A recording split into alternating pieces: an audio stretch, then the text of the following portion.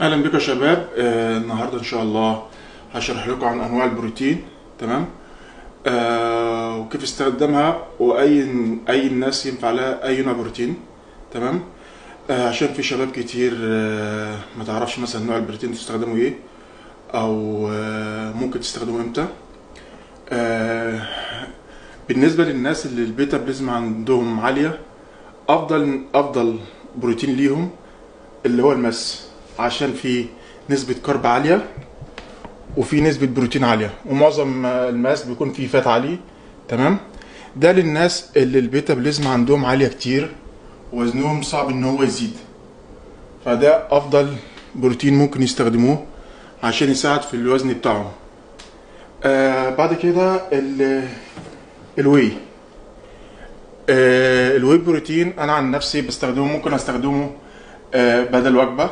مثلا لو الصبح مثلا عندي بروتين ممكن أستخدمه بدل وجبة عشان هو امتصاصه معتدل وفي نفس الوقت يعني ما فيهوش carb وما فيهوش fat.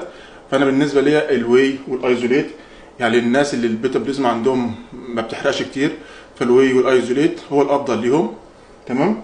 ال whey ممكن تستخدمه بدل وجبة آه ممكن مثلا مع الفطار الصبح تحطه مع الشوفان أو في أي وجبة لو أنت عاوز تزيد نسبة البروتين ومش عارف تاكل بروتين إيه بكمية عالية. ال isolate آه، بعد كده ال isolate.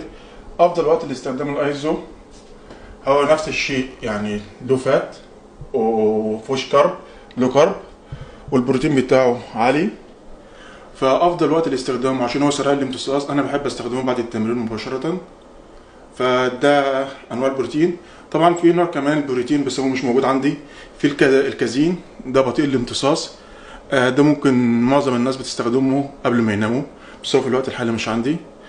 آه، واللي يقدر يستخدم حاجة ممكن يعني للناس اللي ال metabolism عندهم high يعني ال mass أفضل شيء ليهم فلو الواحد عنده ال metabolism ما- ما بتحرقش ما ينفعش ياخد mass. وزنه هيزيد كتير ويعبي fat. فانا أنا ارشح له الأيزو أو ال whey protein